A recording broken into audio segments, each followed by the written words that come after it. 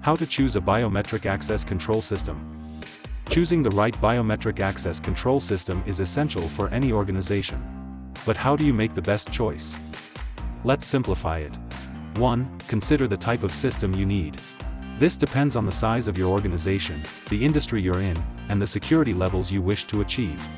For example, in a large enterprise, the need may arise for a multi-factor system, it would combine facial recognition with RFID cards, ensuring quick authentication while maintaining robust security. Contrastingly, in educational institutions like schools, attendance tracking might be a critical additional feature. A biometric access control system with integrated attendance tracking can simplify daily operations while ensuring the safety of students and staff. 2. Evaluate the user experience. A biometric access control system that's easy to understand and operate is critical for smooth adaptation. Choosing systems with clear instructions and user-friendly features can help you save money on IT and reduce user frustration. 3. Balance your budget with your needs.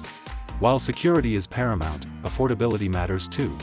Whether you choose an all-in-one solution or separate vendors, consider all associated costs including installation, maintenance, and support.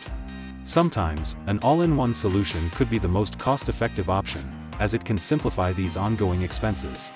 Do you have any questions or need guidance? Visit our website at aratek.co. The Aratek team is here to help.